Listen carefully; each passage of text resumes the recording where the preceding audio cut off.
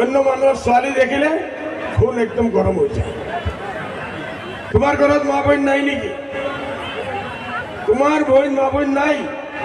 মোৰ চিকিউৰিটি যে যায়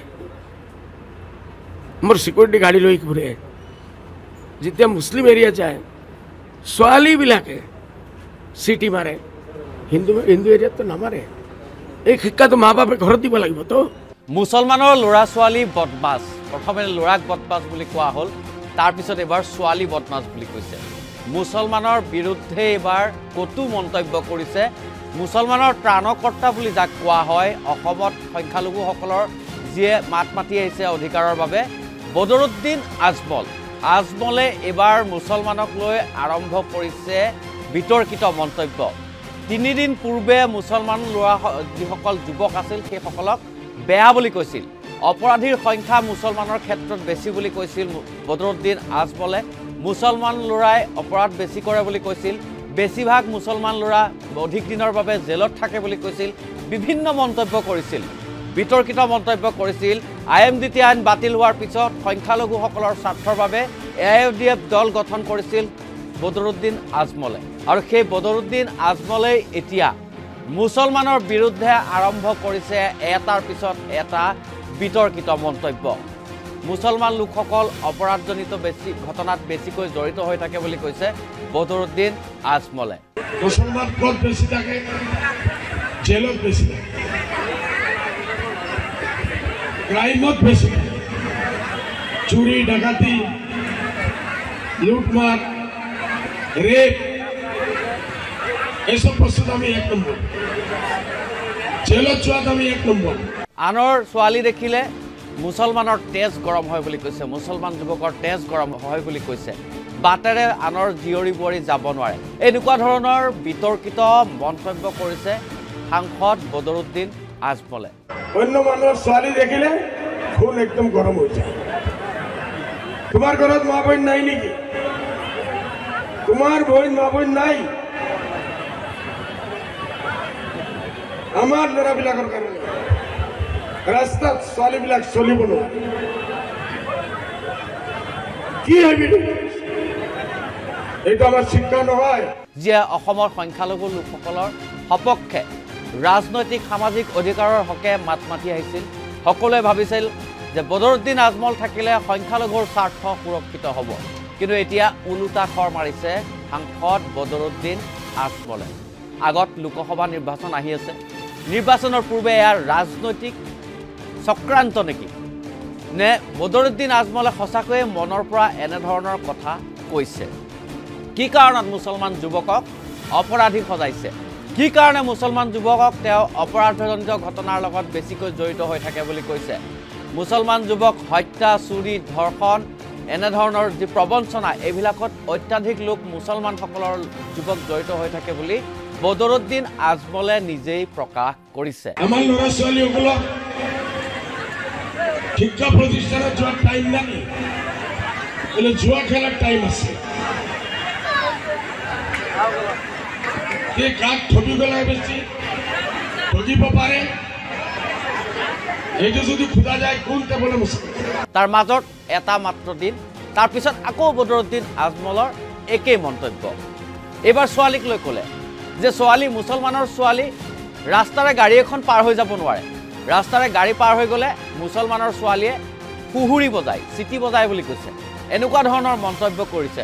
অৱশ্যে তেওঁ এটা কথা কৈছে যে অশিক্ষিত হোৱাৰ বাবে বা অনগ্ৰসৰ হোৱাৰ বাবে মুছলমানৰ যুৱক যুৱতীসকলে এনেধৰণৰ আচৰণ কৰি আহিছে। মোৰ চিকিউৰিটি যে যায়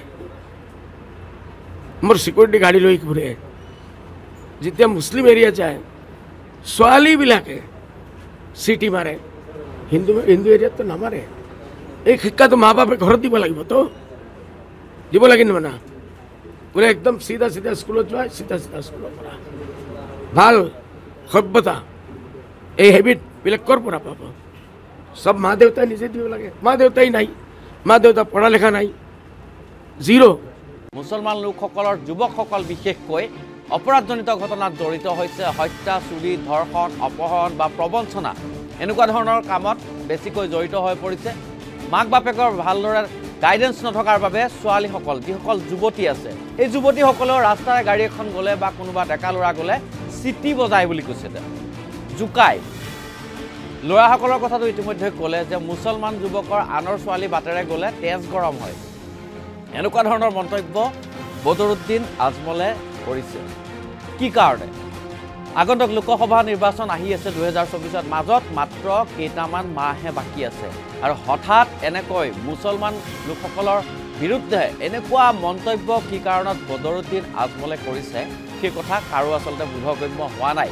বহুতে ভাবিছে যে এয়া এক ৰাজনৈতিক চক্ৰান্ত হ'ব পাৰে কাৰণ আজমলে যি আজমলে সংখ্যালঘু লোকসকলৰ কাৰণে সদায় মাত মাতি আহিছিল। সংখ্যালঘু লোকসকলৰ সপক্ষে তেওঁ সদায় নিজৰ কণ্ঠ সদায় বলিষ্ঠ কণ্ঠ তেওঁ প্ৰদৰ্শন কৰিছিল। কিন্তু শেহতীয়াকৈ দেখা গৈছে যে বদৰুদ্দিন আজমলেই এইবাৰ ওলোটা খৰ মাৰিছে মাৰি তেওঁ মুছলমান যিসকল লোক আছে বা অসমৰ যিসকল সংখ্যালঘু লোক আছে এই সংখ্যালঘু লোকসকলক তেওঁ তুচ্ছ তাচিল্য কৰিছে। নিজৰ জাতিটোকেই তেওঁ তুচ্ছ তাচিল্য কৰিছে নিজৰ জাতিটোক তেওঁ অপৰাধ জগতৰ সৈতে জড়িত হৈ থকা সৰ্বাধিক সংখ্যক লোক মুছলমান বুলিয়ে তেওঁ ক'বলৈ দ্বিধাবোধ কৰা নাই। আনকি তেওঁ তথ্য দেখুৱাইছে। কিন্তু প্ৰশ্ন হৈছে যে হঠাৎ বদৰুদ্দিন আজমল এনেধৰণে সৰব হোৱাৰ কাৰণটো কি? ইয়াৰ পূৰ্বে তেওঁ গম পোৱা নাছিল নেকি যে মুছলমান লোকসকল বা সংখ্যালঘু লোকসকল অপৰাধজনিত ঘটনাত বেছিকৈ জড়িত হৈছে বা তেওঁলোকক সংশোধনৰ বাবে বা তেওঁলোকক শিক্ষা দীক্ষাৰে দীক্ষিত কৰিবৰ বাবে ব্যৱস্থা গ্ৰহণ কৰিব লাগে। যিহেতু তেওঁক মুছলমানসকলৰ বা সংখ্যালঘুসকলৰ ত্ৰাণকৰ্তা বুলি মানি আহিছে বা তেওঁ নিজেও প্ৰদৰ্শন কৰিছে বিভিন্ন সময়ত। তেওঁ বহু বহু সমস্যাৰ বিৰুদ্ধে সমস্যাৰ হকে মাত মাতি আহিছে মুছলমানসকলৰ। কিন্তু এইবাৰ কি কাৰণত বদৰুদ্দিন আজমলে এনেকুৱা ধৰণৰ মন্তব্য কৰিছে সেয়া আচলতে সকলোৰে বাবে ৰহস্য হৈছে। কিন্তু এটা কথা ঠিক যে বদৰুদ্দিন আজমলে ৰাজনীতি কৰা মানুহ ৰাজনীতিত এনেকুৱা ধৰণৰ বিতৰ্কিত মন্তব্য বহু সময়ত বহু ৰাজনীতি ৰাজনীতিকে দি আহিছে। কিন্তু পৰৱৰ্তী সময়ত গম পোৱা যায় যে ইউ এক আচলতে সমীকৰণহে আছিল বা সমীকৰণৰ ৰাজনৈতিক সমীকৰণৰ অংশহে আছিল। এনেকুৱাও কিবা ৰাজনৈতিক সমীকৰণৰ অংশ থাকিব পাৰে নেকি? গতিকে বদৰুদ্দিন আজমলৰ আঁত ধৰি এইবাৰ ঢৌতে খৰ মাৰি মন্ত্ৰী পীযুষ হাজৰিকাৰ প্ৰকাশ কৰিছে আন এক প্ৰতিক্ৰিয়া। পীযুষ হাজৰিকাই কৈছে যে এই কথা বদৰুদ্দিন আজমলে এতিয়াহে বুজি পালে। এই কথা বিজেপিয়ে পূৰ্বৰ পৰাই কৈ আছিল যে মুছলমান লোকসকল অপৰাধজনিত ঘটনাত বেছিকৈ জড়িত হৈ আছে। ডকাইতি চুৰ হত্যা ধৰ্ষণ এনেকুৱা ধৰণৰ ঘটনাত মুছলমানসকলৰ যি হাৰ বা ৰেচিঅ' সেই ৰেচিঅ' যথেষ্ট বেছি। কিন্তু এইবাৰ বদৰুদ্দিন আজমলে বুজিলে হঠাৎ পেট্ৰিয়ট হ'ল নেকি? বদৰুদ্দিন আজমল হঠাৎ দেশপ্ৰেমী হৈ উঠিছে নেকি? এনেকুৱা ধৰণৰ তুচ্ছ তাচিল্য মন্তব্যও ঢৌতে খৰ মাৰি মন্ত্ৰী পীযুষ হাজৰিকাই কৰিছে। আচলতে ইণ্ট্ৰডেক্সপেকশ্যন হৈছে আজমল ডাঙৰীয়াৰ। এইটো কিন্তু মই মইতো মিছা বুলি নকওঁ কাৰণ আমিতো আগতে কৈ আছিলোঁ। আমি গ'লে বেয়া পায়। আমিতো কৈ আছিলোঁ যে চোৰ ডকাইত মানে মুছলমান। আমিতো কৈ আছিলোঁ। এইটো সঁচা কথা। মানে সকলোতো নহয় কিন্তু চোৰ ডকাইত আপুনি মেক্সিমাম এইট্টি পাৰ্চেণ্ট মুছলমানেই পাব। ধৰ্ষণ কৰা এইট্টি পাৰ্চেণ্ট মুছলমানেই পাব। এইবিলাক কথা আগতে কৈ আছিলোঁ। তেতিয়া তেওঁলোকে পলিটিকেল মিছপিচ দিওঁ বুলি কয় পলিটিকেলি কওঁ বুলি কয়। তেওঁলোকক আমি অসন্মান কৰা বুলি কয়। কিন্তু এই কথাখিনি যদি আপোনালোকে অলপ পুৰণি ৰেকৰ্ড চাই আমিতো বহুত আগৰ পৰা কৈ আছিলোঁ যে মুছলমানত হিংসা হত্যা ধৰ্ষণ ডকাইতি এইবিলাকে বৃদ্ধি পালে বৃদ্ধি পাইছে। এইবিলাক নতুন কথা নহয়। তেওঁলোকৰ মাজত যে অলপ চিন্তা তেওঁলোকৰ মাজতে যে এই চিন্তাটোৰ উদয় হৈছে ইণ্টাৰেস্পেকশ্যন হৈছে মইতো সুখী হৈছোঁ। এনেকুৱা হ'ব লাগে যাতে তেওঁলোকৰ মাজতো চোৰ ডকাইত ধৰ্ষণকাৰী নাইকিয়া হয়। আজমলে এই সময়ত এই কথা মই কিয় কৈছে মই নাজানো। মই পলিটিকেলি কথা এইটো ক'বই খোজা নাই। বদৰুদ্দিন আজমলে কিয় কৈছে মই নাজানো। কিন্তু এইটো কথা আমি আগতে কৈ আছিলোঁ। তেতিয়া আমাৰ বহুতো ব্যক্তিয়ে আমাক বেয়া বুলি কয়। আমি এইটো সাম্প্ৰদায়িকৰণ কৰা বুলি কয়। সঁচা কথা ক'লে বেয়া পায়। এতিয়া তেওঁলোকে স্বীকাৰ কৰিবলৈ বাধ্য হৈছেতো হয় যে মুছলমানত ডকাইত বেছি মুছলমানত চোৰ বেছি মুছলমানত হত্যাকাৰী বেছি মই সকলো বুলি কোৱা নাই আকৌ মই ক্লিয়াৰলি কৈছোঁ সকলো বুলি কোৱা নাই। কিন্তু বেছি আগতে কৈ আছিলোঁ আগতে ক'লেগে এইটো বিজেপিৰ নেতাসকলে মুছলমানক অসন্মান কৰিবলৈ বেয়া শব্দবিলাক কয়। কিন্তু এইবিলাক আগতে আমি কৈছিলোঁ ভাল হ'বলৈ। তেওঁলোকৰ নেতাই এতিয়া কৈছে তেওঁলোকে ভাল হওক সমাজখন ভালদৰে আগবাঢ়ক। কিন্তু বদৰুদ্দিন আজমলে কি কাৰণে হঠাৎ সংখ্যালঘুসকলৰ প্ৰতি এনেধৰণৰ মন্তব্য কৰিবলগীয়া হ'ল? তেওঁ কৈছে কোনোবাই যদি মোক বেয়া পায় বেয়া পালেও পাওক কিন্তু মই আৱেগত কোৱা নাই এয়া সঁচা কথা। তেওঁ এক তথ্য প্ৰকাশ কৰিছিলে। নগৰবেৰাত যেতিয়া এই কথাটো কৈছিলে মুছলমান যুৱকসকলৰ তেজ গৰম হয় আনৰ ছোৱালী ৰাজপথেদি গ'লে হত্যা ধৰ্ষণ চুৰি ডকাইতি এইবিলাকত বেছি মুছলমান যুৱক জড়িত হৈ থাকে। মুছলমান যুৱক বেছি দিন জেলত থাকে। পঢ়া শুনাৰ কোনো কাম নাই মুছলমান যুৱকে নপঢ়ে কিন্তু জুৱা খেলে। এনেকুৱা ধৰণৰ কথা কৈছে। গতিকে বদৰুদ্দিন আজমলৰ এই মন্তব্যই ৰাজনৈতিক কিছু চিন্তাধাৰাৰ উদ্ৰেক ঘটাইছে। কাৰণ বদৰুদ্দিন আজমলৰ দৰে এজন সংখ্যালঘু নেতাৰ মুখত অসমৰ শীৰ্ষ পৰ্যায়ৰ সংখ্যালঘু নেতাৰ মুখত এনেকুৱা ধৰণৰ কথা শুনিলে সকলোৱে সন্দেহৰ চকুৰে নিশ্চয় চাব।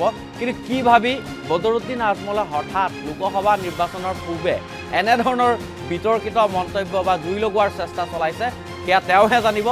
কিন্তু ৰাজনৈতিক মহলত চৰ্চা আৰম্ভ হৈছে যে বদৰুদ্দিন আজমলে আগন্তুক লোকসভা নিৰ্বাচনক লৈও এনেধৰণৰ মন্তব্য কৰিব পাৰে। কাৰণ আজমল ৰাজনীতিত কেঁচা নহয়। দীৰ্ঘদিন ৰাজনীতিৰ অভিজ্ঞতাৰে পুষ্ট বদৰুদ্দিন আজমলে। বিভিন্ন সময়ত জৰা ফুকাৰে তেওঁ ৰাজনীতি কৰি সফল হৈছে। কোনোবা সময়ত কেতিয়াবা তেওঁ বিফল হৈছে কোনোবা সময়ত তেওঁ সফল হৈছে বা তেওঁ বিভিন্ন সময়ত তেওঁ বিভিন্ন মন্তব্য কৰিছে।